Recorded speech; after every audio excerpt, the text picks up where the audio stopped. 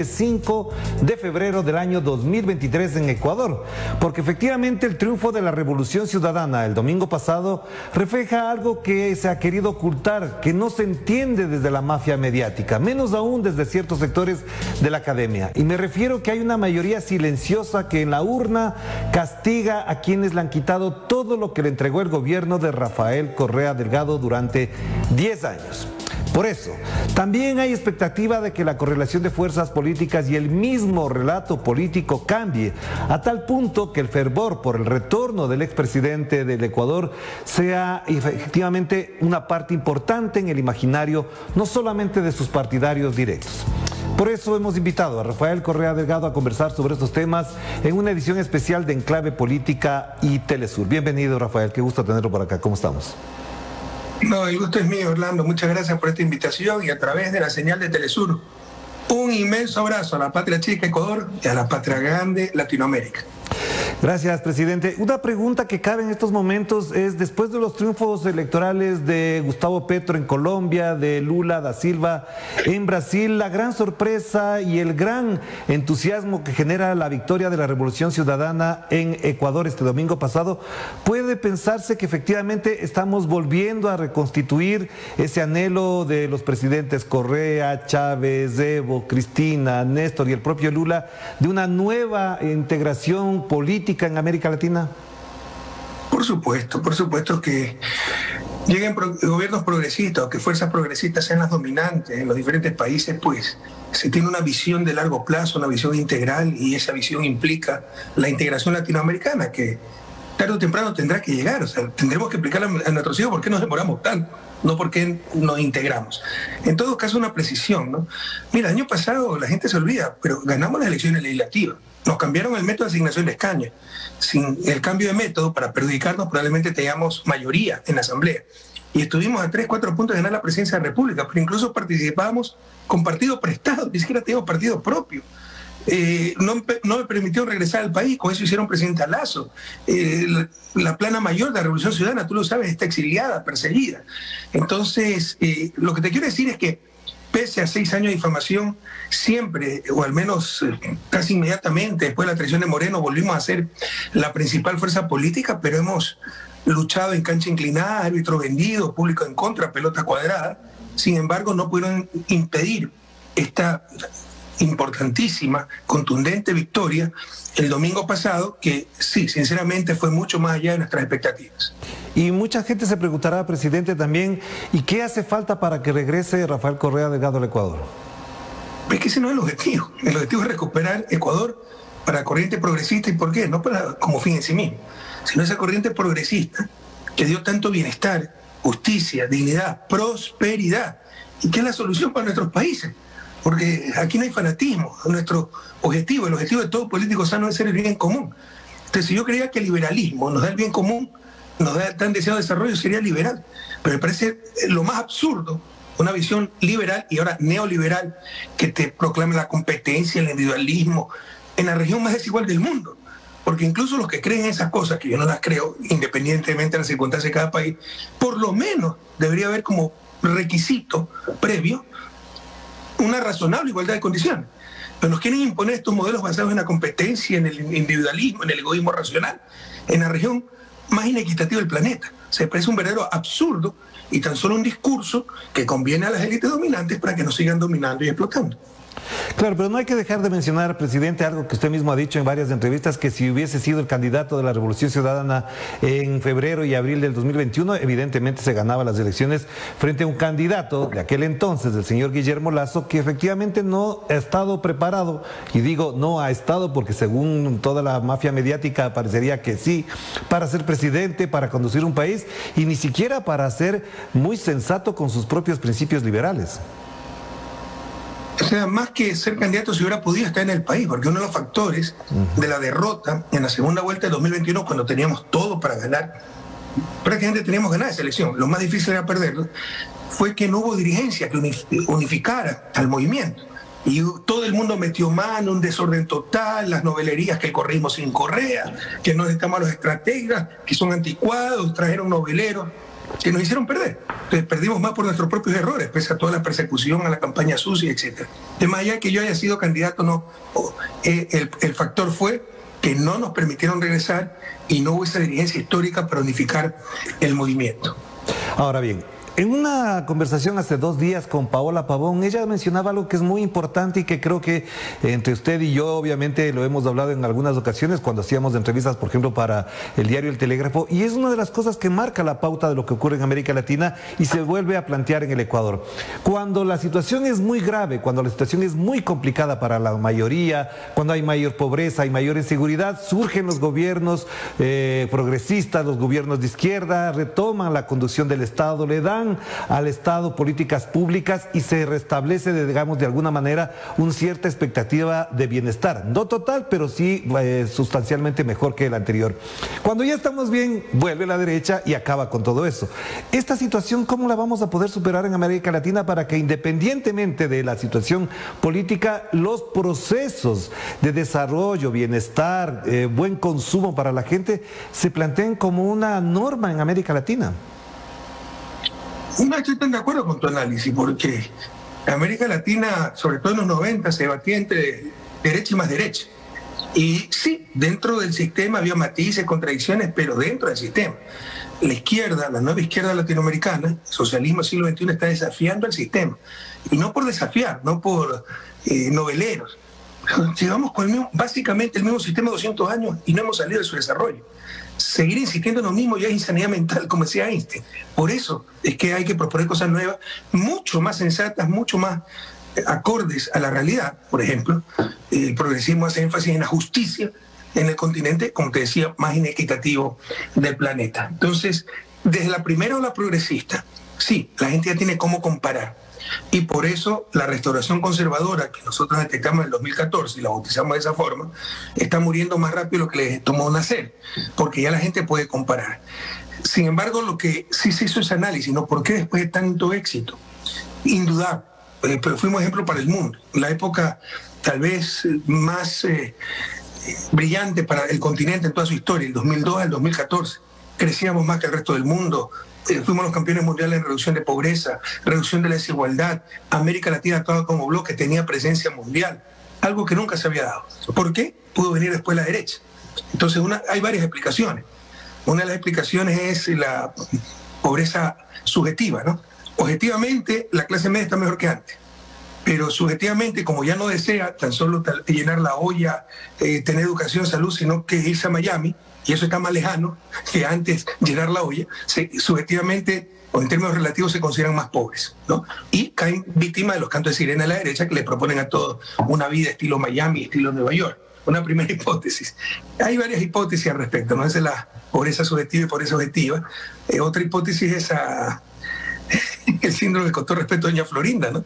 Que lo planteó tan brillantemente Rafael Ton, un autor argentino, cuando ya se tiene un poco más que el resto, empiezan a llamar chuma al resto, empiezan a maltratar a los obreros, don Ramones, malcrían a sus engreídos hijos Kiko y quieren caerle simpático al capitalista compasivo de estilo Don Barriga, ¿no? Y votan por esos capitalistas. Hasta que se empobrecen y vuelven tal vez a eh, escuchar de mejor manera los discursos de justicia social, los discursos de la izquierda. Entonces sí, es algo que hay que analizar un poco más a profundidad eh, tal vez eh, nos falta concientizar a la gente, pero no todo se puede hacer en el gobierno. Mm. También es las dirigencias, las organizaciones sociales, el sistema educativo, eh, que tienen que tener un, poco más de pensamiento crítico, ¿no? De que, porque hay muchos factores más. Por ejemplo, naturaleza humana, tal vez cultural latinoamericana. Cuando me va bien, es gracias a mí, a mi esfuerzo. Cuando nos va mal, es culpa del gobierno. No, si te va bien, es gracias también al gobierno. El fuego amigo que muchas veces es más peligroso y más dañino que el fuego enemigo. La izquierda, por ahí tenemos una discusión en Twitter, masoquista, ¿no? que siempre ve lo que faltó hacer. ¿no? Y a la izquierda le, reclaman por qué no hizo todo. A la derecha, en cambio, le reclaman por qué no hizo algo. ¿No? Entonces nuestros propios compañeros dicen cada vez más y, ven lo que faltó, no lo que se hizo, y siempre como para mucha vanidad, ¿no? Para creerse los pulcros intelectuales y la autocrítica y los muchos errores que se cometieron dándole la razón a lo que nunca la han tenido. Entonces hay una serie de factores que hay que analizar. No creo que sea una respuesta lineal a un problema complejo, pero existe el problema. Existe el problema que probablemente el éxito de la izquierda es su fracaso. ¿Por qué? Porque saca a la gente de la pobreza, se convierte en clase media y tal vez la clase media ya vota por la derecha y no por la izquierda. Claro, y no quiero dejar de mencionar esta última parte, presidente, porque efectivamente el triunfo de la Revolución Ciudadana el domingo en zonas donde efectivamente se ha sentido con mayor fuerza y con un incluso tinte muy dramático la crisis económica, la crisis social, la crisis de seguridad, es donde gana la Revolución Ciudadana. Estoy hablando particularmente de la ciudad y de la, ciudad de Guayaquil y de la provincia de Guayas. Esto, por ejemplo, usted ha valorado en otras entrevistas como un éxito que ni incluso estando en el gobierno se pudo alcanzar. Es eh, eh, relacionado, se vincula directamente la situación grave de lo que se vive, por ejemplo, en Guayas y en Guayaquil, el resultado que da el triunfo a Aquiles Álvarez y a Marcela Guiñaga? En general, sí. El caso Guayaquil es bastante más particular del caso Guayas, en una serie de factores, pero en general sí, porque gracias a Dios la gente ya tiene con qué comparar. La nueva ola progresista no es independiente la primera, es consecuencia de la primera, porque la gente ya tiene con qué comparar. Por un instante imagina, tú eres ecuatoriano, esta ola de violencia hubiese llegado sin el nivel de seguridad que tuvieron en nuestro gobierno, nuestros pueblos. ¿No? Eh, Ecuador. Ecuador lo dejamos como el segundo país más seguro de América Latina, se sentía la seguridad. Pero antes no era así. imagínate que se hubiese agravado la situación, que no hubiese existido que no existió nuestro gobierno, se agravó con respecto a la situación ya de inseguridad que siempre vivía. La gente hubiera comprado seguramente el discurso de la derecha que el problema es que más todo el mundo debe portar armas, que todo el mundo puede matarse en las calles de autodefensa y todas esas cosas. Gracias a Dios tenían con qué comparar. Por eso no compraron esos discursos. Entonces, por supuesto que el éxito actual sí se debe a que se puede comparar con nuestro gobierno en general la nueva ola progresista, se debe a que ya la gente puede comparar y bueno, ya pueden tragarse un año el cuento de que cuando estábamos bien estábamos mal, cuando estamos mal estamos bien, pero no cuatro o cinco años el mismo cuento. El caso de Guayaquil y Guaya es un poco más eh, particular. Primero tuvimos grandes candidatos con grandes propuestas, con grandes estrategias. enfrentamos en general administraciones muy cuestionadas, la de Cintia Viteri con escándalos de corrupción, la de Susana González a nivel de prefectura con ineficiencia, y yo creo que estrategia totalmente equivocada. Por ejemplo, la de Cintia Viteri, que se quiso disfrazar de adolescente de los cincuenta y pico de años y ya hacía el ridículo, ya seguía con esa estrategia que la cerveza, la colorada, que la gila colorada, que desnúdense cuando quieran, donde quieran cuando ya habían captado todos los votos que puedan captar con esa payasada. Tenían que ir un poco más allá para ganar la elección y nunca, nunca tuvieron esa visión, nunca dieron el paso adicional. Claro, pero yo le cuento algo porque he estado revisando para esta entrevista y para incluso entender lo que estaba pasando en Guayaquil en particular, que el relato político del Partido Social Cristiano y de la mafia mediática guayaquileña, quiteña, durante los inicios del gobierno de Rafael Correa eran precisamente eso, que hay inseguridad, que hay violencia, que nadie tiene garantizada la vida, que se puede ir la gente, etcétera, etcétera. Y resulta que eso ya a la luz de los hechos y a la luz de la historia era más bien un montaje, la realidad era otra. Pero la situación de ahora sí tiene cifras y sí tiene datos que destrozan cualquier especulación sobre el tema. Por eso le planteo entonces, ¿cómo se va a plantear ahora en esta perspectiva? Yo no digo los candidatos ni las autoridades, sino el mismo eh, eh, movimiento Revolución Ciudadana frente a una realidad donde la gente espera mucho más, ya no solamente de los candidatos electos, sino de la organización política Revolución Ciudadana. Mira, una reflexión ¿no? con respecto a, la introducción a tu pregunta. Nosotros gobernamos 10 años, un joven de 20 años actualmente. Cuando nosotros empezamos a gobernar tenía 10 años, no se acuerda del viejo país. Y le hicieron creer que antes era Suiza y que si ahora había un, eh, en el 2017 teníamos un asesinato, era culpa del gobierno. Y si había un caso de corrupción era culpa del gobierno porque antes no existía. Le tomó 4 o 5 años a ese joven, a la hora de 25 o 26 años, darse cuenta que en verdad siempre ha existido y cuando hay un gobierno corrupto, eso cunde, eso es permitido, eso es tolerado. Y cuando hay un gobierno inepto, la violencia explota. Y, ya puede comparar, como te decía. Pero costó cuatro o cinco años, cinco o seis años, tengan esa amarga experiencia y recuerden y eh, que entiendan que había un viejo país y recuerden o se den cuenta cómo era ese viejo país. ¿Qué tenemos que hacer como revolución ciudadana? No hemos ganado nada todavía. Sí, el éxito ha sido enorme nuestro, nuestro objetivo no es ganar elecciones. se gana elecciones como un medio, un medio para el bien común, para sacar el país de la miseria, para acabar con la pobreza, con la desigualdad, para alcanzar el buen vivir. Entonces, sí creo que es un punto de quiebre esta elección, muy significativa, en lo personal, una reivindicación y de todos los dirigentes de la Revolución Ciudadana que hemos sido eh, perseguidos, denostados, calumniados, difamados durante cinco o seis años con un blindaje mediático impresionante. Nos han dicho de todo y la respuesta contundente del pueblo ecuatoriano es eh, eh, apoyamos a Rafael Correa, apoyamos a Revolución Ciudadana los corruptos siempre fueron ustedes. Por supuesto, en lo personal, eso es una inmensa satisfacción, pero no nos engañemos, es que se han ganado unas elecciones contundentemente, en condiciones extremadamente adversas, y muy significativas, pero es un punto de partida, no es un punto de llegada. Y tenemos que recuperar el poder, el poder central porque hay problemas que dependen del gobierno central, no de los gobiernos seccionales, como la inseguridad, como la política económica, y enrumbar nuevamente al Ecuador en esa ruta hacia buen vivir que tuvo indudablemente del 2007 al 2017. Porque una de las críticas que más se hacen a quienes denostaron, difamaron, hostigaron a la revolución ciudadana es que trastocaron la realidad, trastocaron las cifras, empezando por el señor Lenín Moreno. Sabemos lo que pasó con la señora María Paula Romo, cuyos parientes ahora aparecen involucrados en actos de corrupción del gobierno del señor Guillermo Lazo. Y en función de eso, incluso uno se preguntaría, digamos desde afuera de Ecuador, ¿cómo hizo la revolución ciudadana para sobrepasar esas dificultades, para romper el cerco mediático, para poder establecer otra narrativa, incluso desde sus propias militancias, desde sus propios líderes y candidatos, porque efectivamente la denostación y el estigma fue muy intenso. Gente que comenzó a dudar de la honestidad de los dirigentes de la Revolución Ciudadana porque el ataque era mucho mayor. La pregunta entonces es, ¿cómo se hace eso? Cuando tú tienes las manos limpias y la conciencia tranquila, tienes la convicción para seguir luchando y tienes la fortaleza para hacerlo, porque otra cosa es cuando tienes la conciencia sucia, ¿no? Algo, arrastras algo de culpa como esta gente. Nosotros no arrastrábamos esa culpa. Sabíamos que habíamos hecho un muy buen gobierno, que habíamos trabajado día y noche por nuestro país, que salimos con, tal vez con menos capital del que entramos.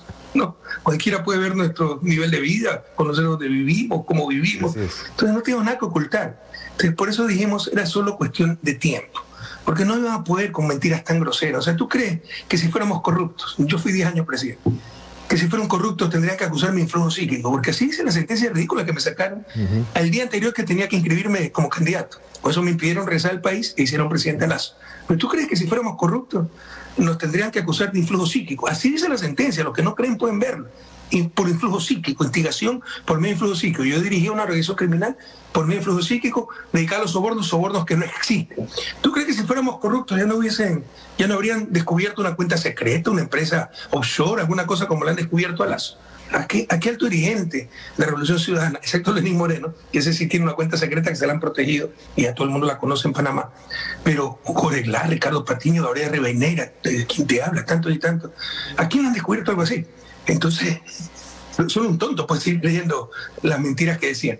Y en esos jóvenes, sobre todo los jóvenes que nos escuchan, eh, era la íntima satisfacción, ¿no? Sí, pueden haber momentos duros, pero la paz con uno mismo es lo más importante que tiene. Entonces era la íntima satisfacción que nos llenaba, llenaba inmensa paz.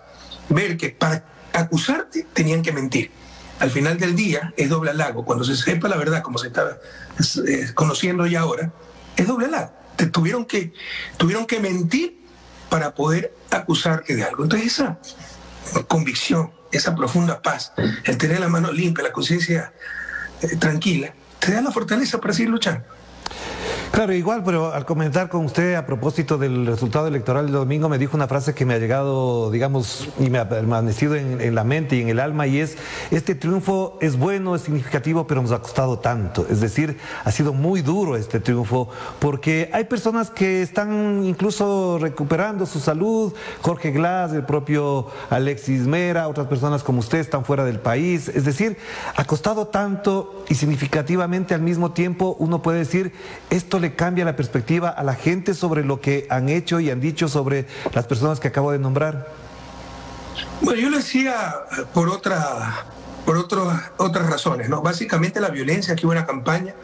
El día anterior a la elección, el 4 de febrero, sábado, asesinaron a nuestro candidato del Cantón Puerto López, provincia de Manaví, joven empresario, lleno de vida, hombre sano. ¿no? Eh, Puerto López es un cantón escotero tomado por el narcotráfico, él dijo que iba a enfrentar a un narcotraficante, lo mataron. Eh, murió con él horas después porque quedó mal herido un joven de 16 años, brigadista nuestro, Carlos González, hijo de una sencilla familia pescadora. son cosas que te desgarran el alma.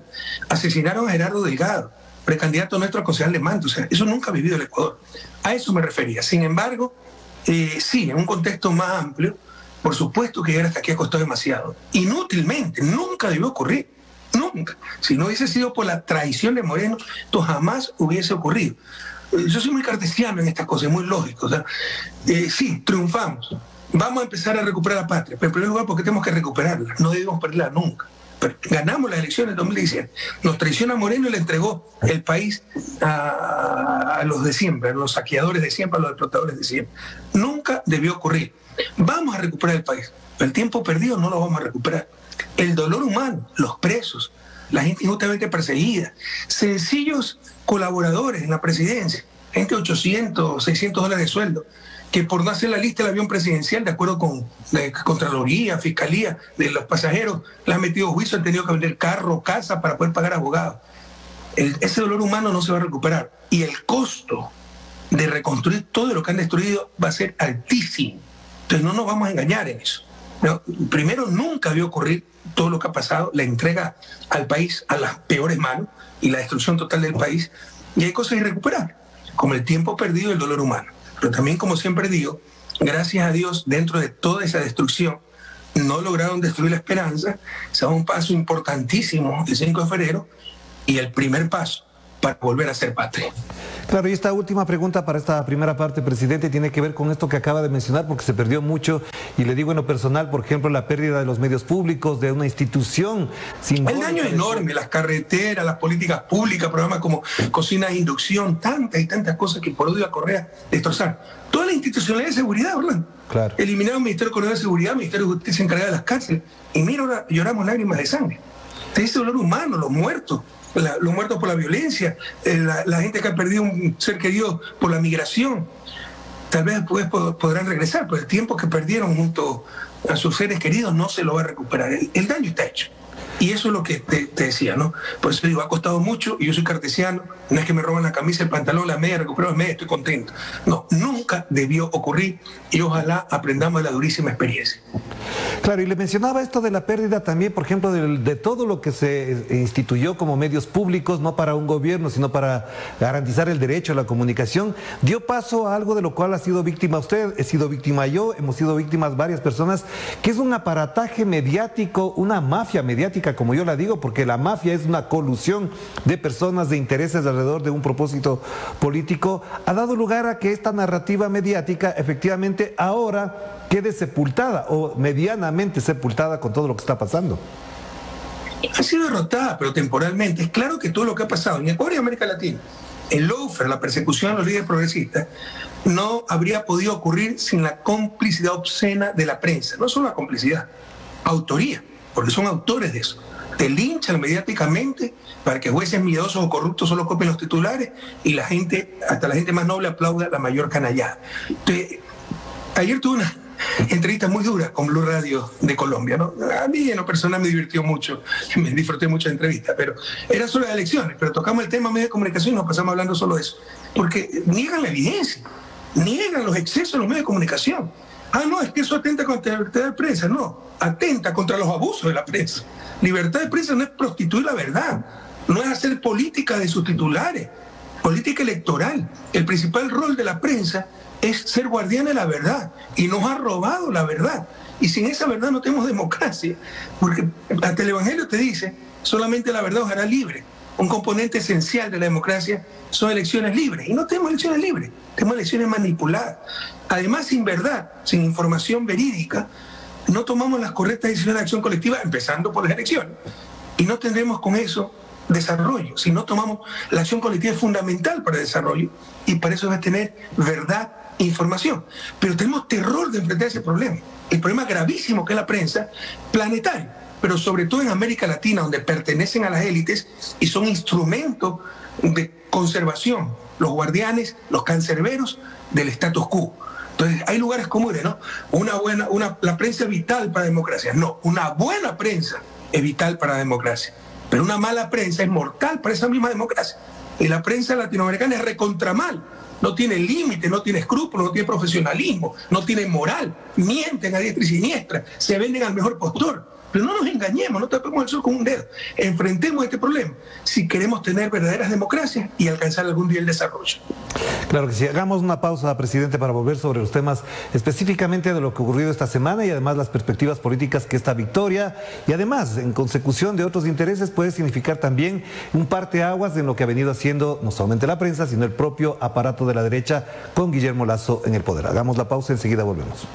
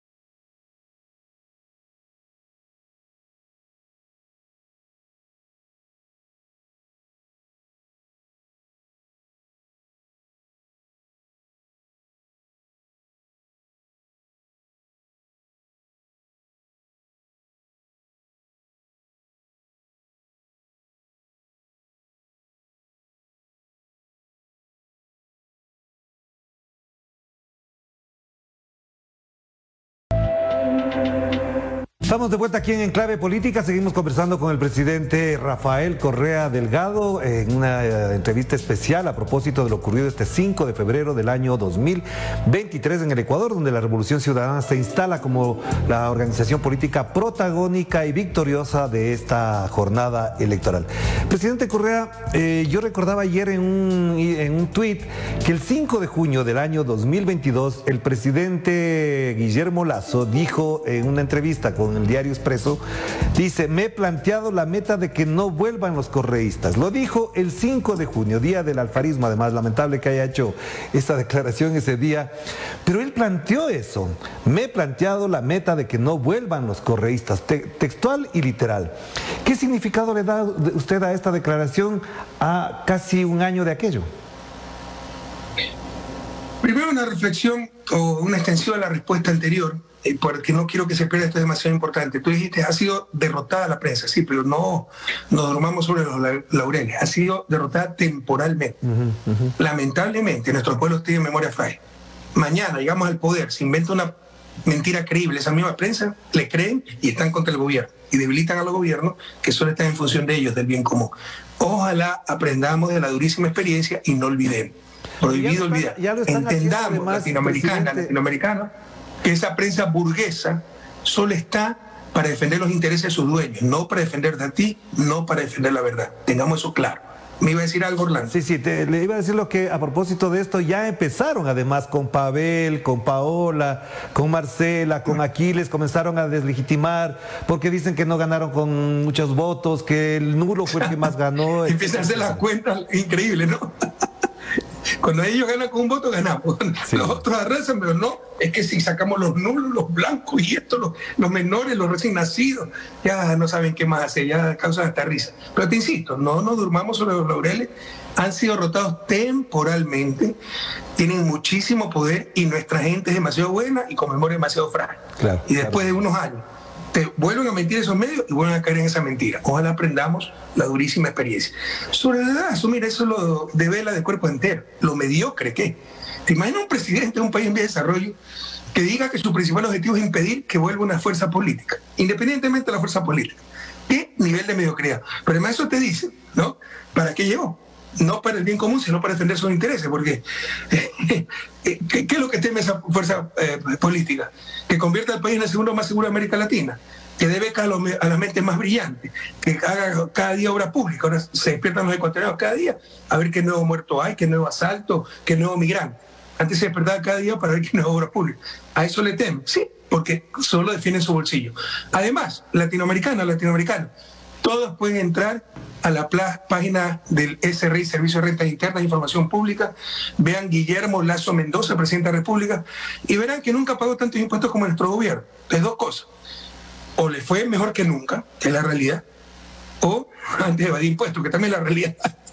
Pero se juntaron las dos y por eso tanto eh, aumentó tanto su, su, pago de impuestos. Entonces, si le fue tan bien con nosotros, porque por eso pagó mucho más impuestos, impuestos a la renta en función de los ingresos que tiene, de las ganancias que tiene, ¿Por qué es que están contra el correísmo? Porque no nos dominaron.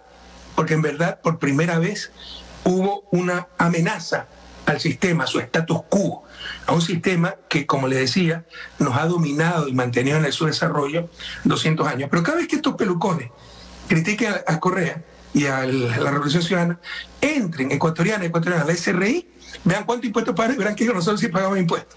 Entonces, o le fue recontra bien, o antes y después evaden impuestos. No hay vueltas que dar. Y si le fue recontra bien, porque están contra nosotros. ¿Ya?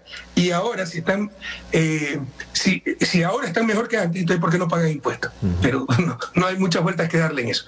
La realidad es que sí le fue mejor que nunca con nosotros y no pudieron evadir impuestos con nosotros. Y eso es lo que les molesta, más que el pago de impuestos, que no hayan podido someter a nuestro gobierno a sus caprichos. Eh, Ay, aquí se. Ya. Y por si acaso, no tuve las contradicciones un lazo. Después, tremenda derrota, llama a un diálogo. Pero antes del domingo, cuando creía que iba a ganar su consulta, nos decía narco, narcopolítico. ¿Te acuerdas?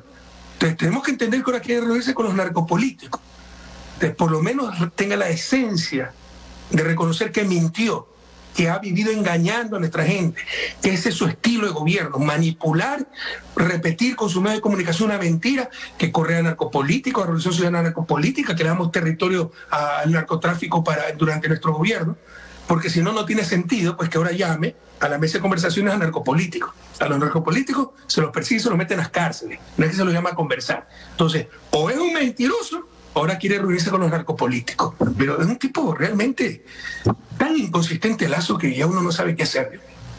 Claro, y además en la mañana de hoy el ex secretario de comunicación de Guillermo Lazo, el señor Pipo Lazo, así se lo conoce, dijo que el gobierno, el señor Francisco Jiménez, el propio Guillermo Lazo ya tenían preparada la, fiesta, la celebración del domingo pasado y que incluso dice para organizar la reelección del presidente porque el correísmo estaba herido de muerte. Lo dijo esta mañana en una entrevista al señor Pipo Lazo, es decir, en la visión, en la mentalidad de quien dirige este país ahora, el correísmo estaba herido de muerte y iban a celebrar y anunciar la reelección del presidente Guillermo Lazo.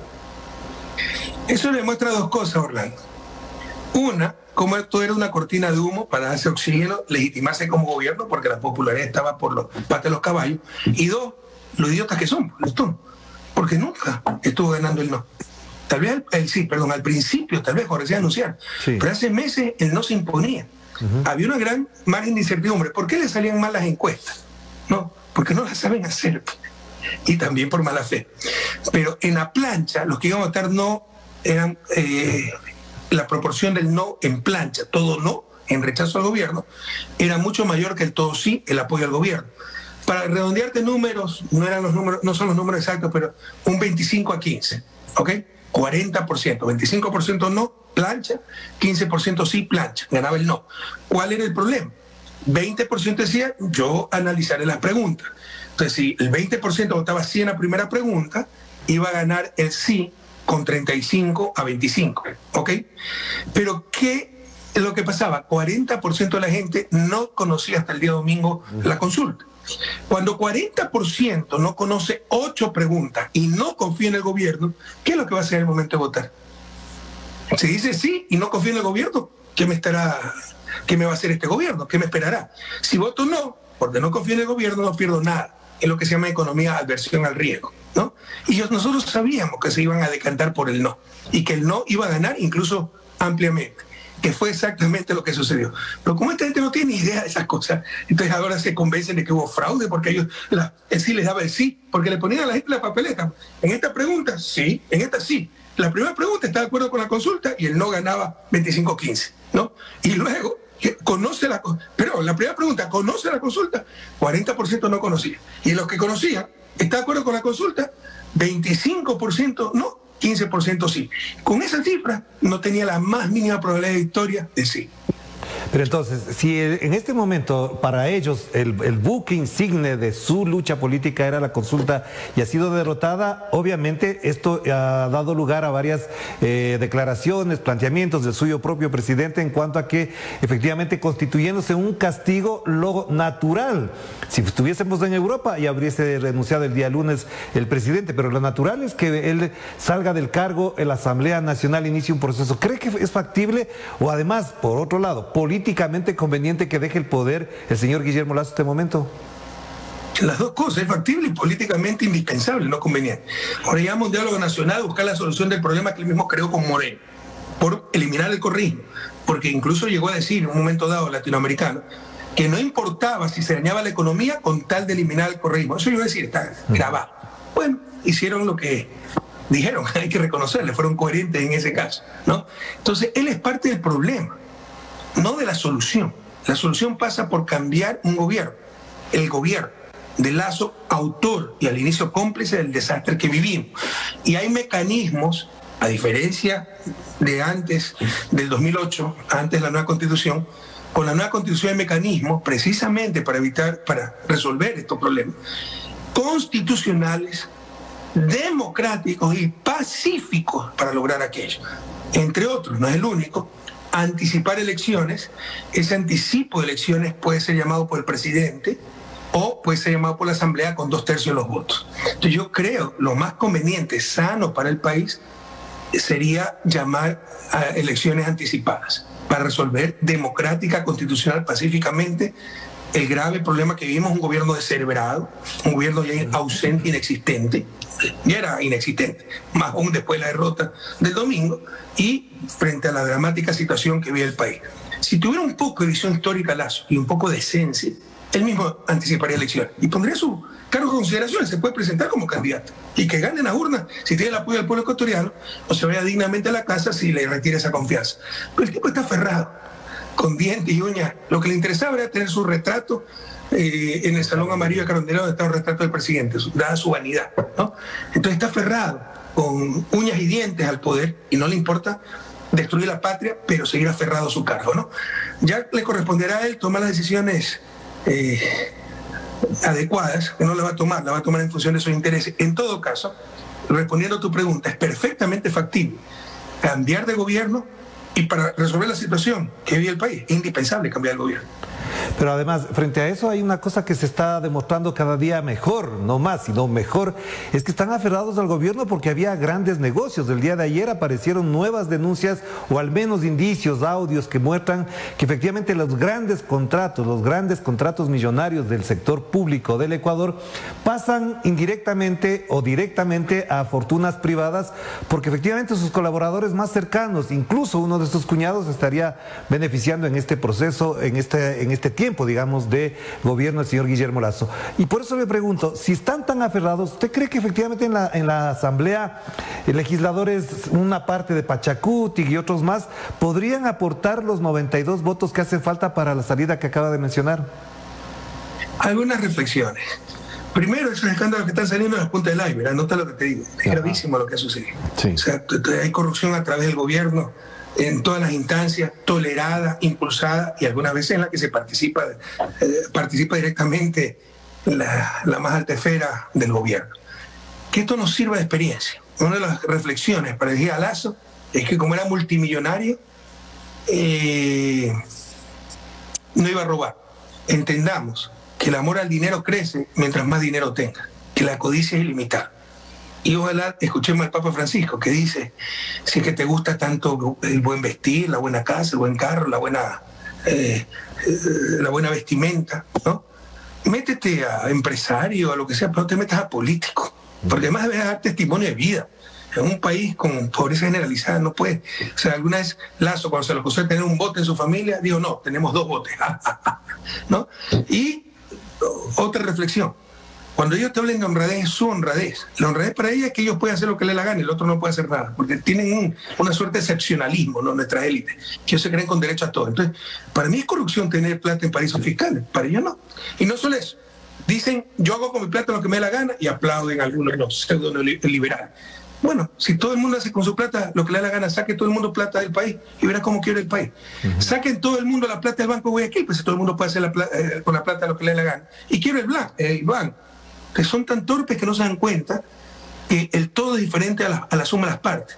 Para ti puede ser beneficioso sacar la plata del país, pero si todo el mundo la saca, quiebra el país. Entonces entendamos eso. No se puede hacer lo que le dé la gana ni, lo que, ni lo, con lo que es de uno, porque uno pertenece a una sociedad y si todos actúan de esa manera, colapsa la sociedad, vivimos en comunidad. Pero eso no se entiende. Y el mal ejemplo viene del propio presidente de la República en este caso, y después con qué cara le va a decir a los inversores, venga a invertir al país, oye, pero si ustedes primero sacar la plata del país, en tener empresas fuera del país. pero muchos caen en ese, ese liberalismo de ¿no?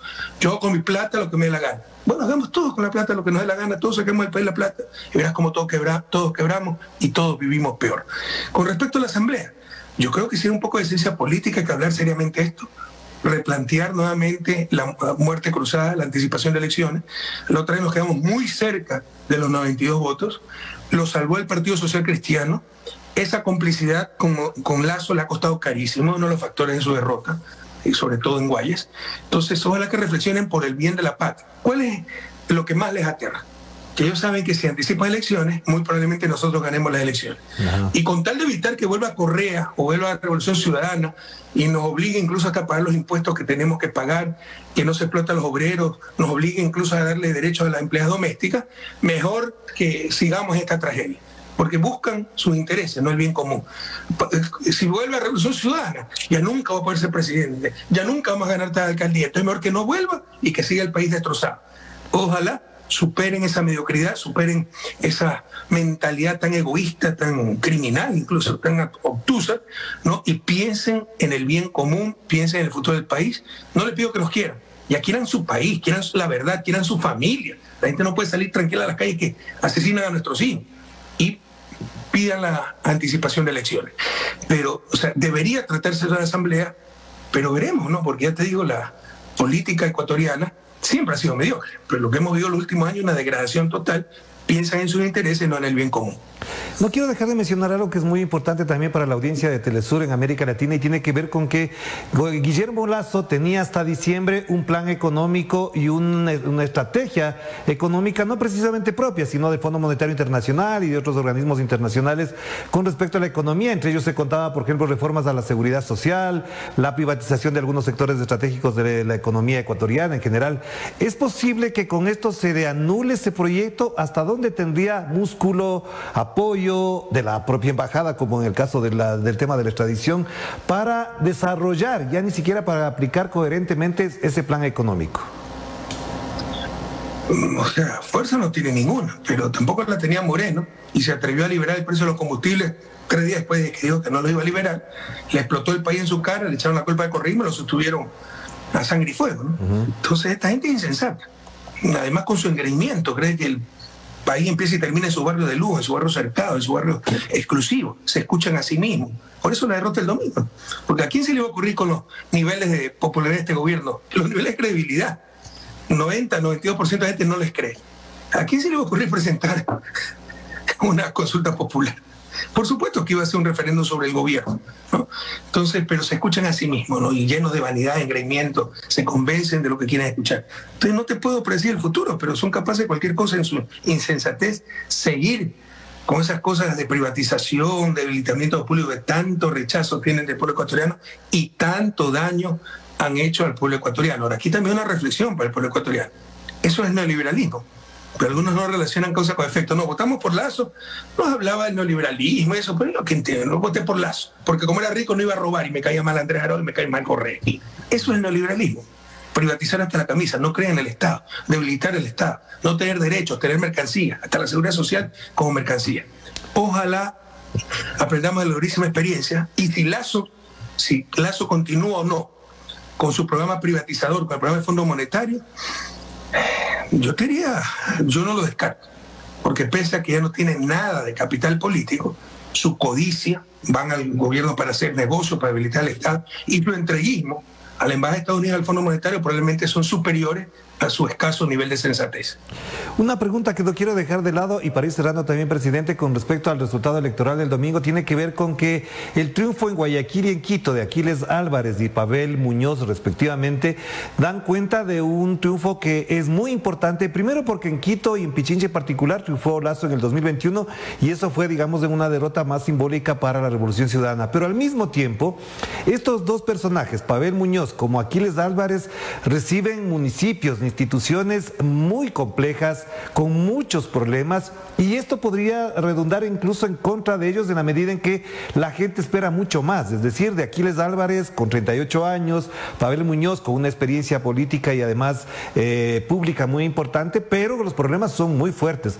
¿Hasta dónde, digamos, ahí sí le hago la pregunta, hay músculo para que el espíritu de la revolución ciudadana tenga peso en la ejecución y en la gestión de dos alcaldías que reciben, heredan con graves problemas. Mira, el triunfo de Lazo se lo dio Pichincha, no nos engañemos.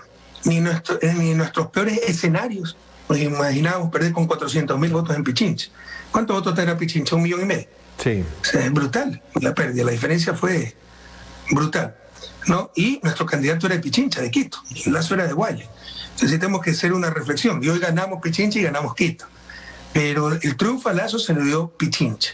Probablemente gran parte de nuestra victoria se debe al desencanto de Pichincha con Lazo, pero ojalá, repito, y pues son antipáticos, pero es necesario, aprendamos de la durísima experiencia. Sí, los retos son enormes, a nosotros no nos perdonan nada, como te decía al inicio de esta entrevista, el fuego amigo muchas veces es peor que el fuego enemigo, y hay esa mentalidad, ¿no? que a la izquierda se le reclama porque no hizo todo, a la derecha se reclama porque no hizo algo. ¿Tú te imaginas si nosotros hubiésemos tenido 30 años, 33 años, el gobierno de Guayaquil, la administración de Guayaquil, y con la primera lluvia Guayaquil continuar inundándose? Los titulares, ¿cuáles fueran? ¿Te imaginas eso? Bueno, eso es lo que pasa. Pero como ellos manejan los titulares, como manejan todo en Guayaquil, los encubrían. Entonces, obviamente, a Aquiles no le van a perdonar nada, cada paso que deba ser criticado, lo van a tratar de desgastar. Gracias a Dios tengo mayoría en el Consejo, lo cual no era nada fácil con el nuevo método que hicieron, y creo que va a tener, pese a todo, una gran alcaldía. Lo de Quito es más sencillo, ¿sabes por qué? Porque bien, bien que mal, este, los socialcristianos algo hicieron, sobre todo comparado con las administraciones roldosistas. Las últimas administraciones, mal que bien, más que bien que mal, mal que bien los socialcristianos hicieron algo. Las últimas administraciones de Quito ha sido un desastre. Yo creo que Pavel va a marcar un contraste. Pavel es la persona, de todos los candidatos de lejos, el más capacitado para la alcaldía, tiene las capacidades para ser de los mejores alcaldes de la historia y le va a ayudar mucho el desastre de administraciones que ha tenido Quito desde el 2014. Realmente desastres de administraciones, Rodas, Yunda y Guardera. Eso lo va a favorecer grandemente porque la gente va a notar el gran contraste.